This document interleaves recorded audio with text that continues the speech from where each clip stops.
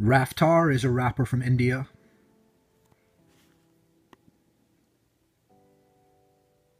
He's doing one eye symbolism here, the eye of Horus. Horus is Satan.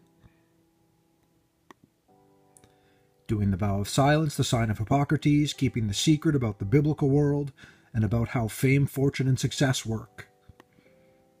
He's doing the vow of silence there and there. He's got the sign of success, 666 in this current fallen world. What's that he's doing with his hands over there? He's he's positioned it somehow. I wonder if it has any significance. Hmm, a little sloppy here as well. There you go. He is doing the gesture of fake enlightenment, the Uttara Bodhi Mudra. It's deception from Satan and the pride of humanity to pose like this. God bless you, everyone.